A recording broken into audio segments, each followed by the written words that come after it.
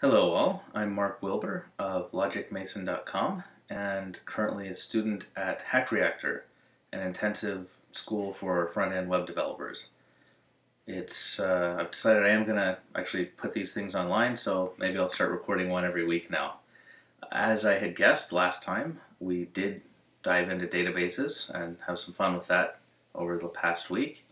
Uh, the other thing we did in our fifth week that was uh, was kind of interesting was we had a we had like a, a free sprint. So the whole time we've been doing these classes, we've had uh, two-day sprints is what we call them. They're just two days of working on some project. We start in the afternoon, we work that half of the day, then the entire day the next day, and then the morning of the day following that, so a total of two days, and we have lunch, and then we go on to the new thing. Um, during the first four weeks, I mean, we did an incredible amount of stuff. We did uh, HTML, CSS, a whole bunch of uh, just JavaScript fundamentals and computer science fundamentals, Backbone JS. We rewrote underscore JS ourselves, which uh, entailed learning about uh, uh, closures and functional programming. And um, what else did we do? Node.js. We did. Uh, we worked with a Parse API. We wrote uh, chat room clients to deal with the Parse API. Then we wrote our own chat room server-side components with Node.js, and then we hooked the two together. Uh, so, understandably, since a lot of the students had no background in programming, and uh, a lot of us had no background in design, and we were all in different spots, we had a we had some students were having a hard time, and actually everyone was struggling at one point or another. And so we had a makeup sprint where we could work on whatever we needed to. I felt pretty confident on the computer sciencey stuff, the math stuff. You know, I did, I did uh, go to college very early as a math major, even if that's not what I graduated with. Um, I had fun with the uh, N-Queens, all that stuff. But what was harder for me was the working with with Backbone, and also we only had two days dealing with CoffeeScript so I decided to do another project of my own during this, this kind of free makeup sprint, and I used Backbone and CoffeeScript to make the prototype of a game that I have wished existed for a long time. Here's the idea. You've got robots that fight each other, but you don't control them directly. You give a robot a command, like a, a program that it runs, sequen- sequentially, just looping over the commands over and over and over. And once the the fight starts, you can't you know you can't control it or do anything to it. So, excuse me. So let's say you only gave the robot two commands: turn left and shoot. You'd have this robot that just sits there going like shooting in, in different directions as it turns. Um, then someone might make a, a more clever robot that that moves and shoots, or moves in circles and shoots. Uh, better still, you can make one that, that goes to the corner, one of the corners, and shoots from there. The next step would be making a robot uh, that would look for the other robot and, and shoot at it. The way I always wanted this game to work would be you would have you would have computer robots you would fight against. There'd be super easy ones, and they get harder and harder and then eventually you'd just be able to let your robot play against any anyone else's robot, and they'd be ranked. You'd have leaderboards, kind of like uh, I don't know if any of you have played Desktop Tower Defense. You get a leaderboard that shows uh, who has gotten the highest scores, and you can see the patterns. You can see like the structures they built to get that score. I would want to do that with this, like make it so you can see the uh, the programs of successful robots. It's not that far along. It's just a prototype right now. But uh, here, I want you guys to have a look. Okay, so here it is. Right now there's just one robot on the screen and its program just has one command, be idle. Check this out. Make it turn right. Now the robot's rotating.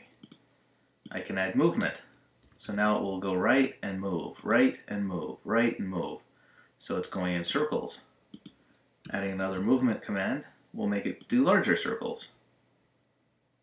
I could, of course, change the right to left. And keep in mind when this game is done. Like I don't intend for people to be uh, changing the program mid-course. I'm just showing you how it works. Like I want, I want the user to be able to make the program here, and then after the robot is made, then uh, you know, then they they have it fight. Everything in here is a backbone object. This was great practice. Like I definitely had to learn how to take care of some backbone garbage collection issues uh, in order to have like constantly uh, or constantly be making missiles like this. Um, now I, I can add a bunch of uh, bunch of backbone robots and you know like the performance is okay. It's not awesome, but works well enough.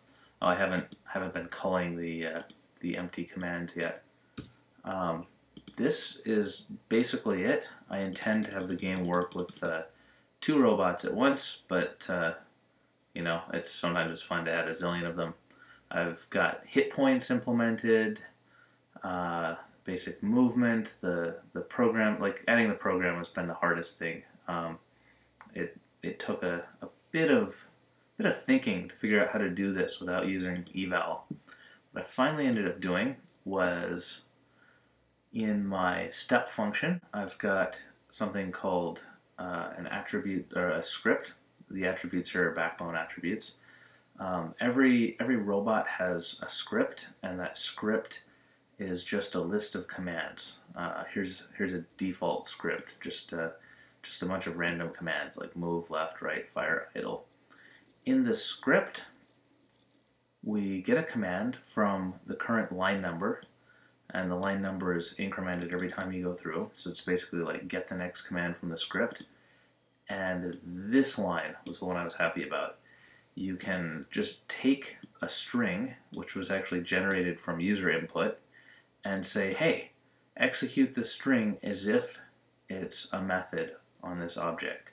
So if the user put in move, for example, it'll run this move function.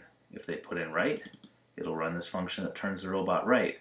Same thing with firing, going left, idling. I've got to, you know, I've got to write some sort of parser so that users can give more sophisticated commands like, uh, um, you know, things with functions or or conditionals. But uh, yeah, I'm I'm happy. Like I've I've wanted to see a robot game like this for the longest time, and uh, nobody seems to be making one and it's not nearly as, as hard of a challenge as I had thought. Like, so I'd, I'd love to get all of your opinions. Like this, this is only a two-day project. I'm not seriously invested in it or the direction it's going, but I, you know, I like it. I kind of want to, kind of want to keep working on it. What, I mean, what kind of features could I add to this that would be fun? Like, uh, do you think the whole idea of an automated fighting game where you just write the program instead of controlling the robot sounds interesting at all? If so, like what would you like to see? Like what kinds of commands? Um, maybe like some other game features like uh, um, having like attribute points you could put into firing speed or or like execution speed of all the commands or armor or, or something like that.